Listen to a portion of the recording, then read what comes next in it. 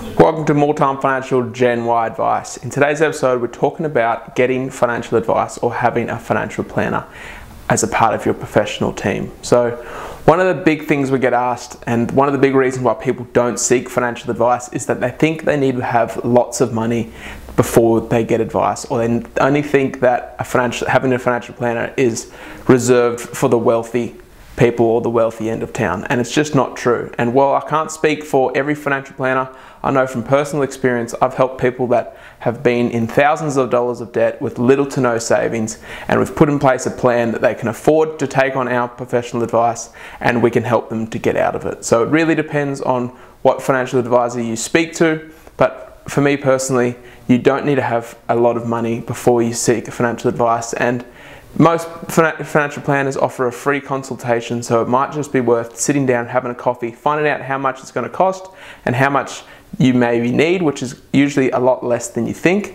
and work through from there. So the way I like to look at it is people say, well, I need money, I'm in too much debt, so I can't seek financial advice. And that's like saying you're too overweight to go to the gym or you're too overweight to start training or trying to get fitter. So that's the way we like to look at it. And if you need financial advice, there's plenty of great financial planners out there.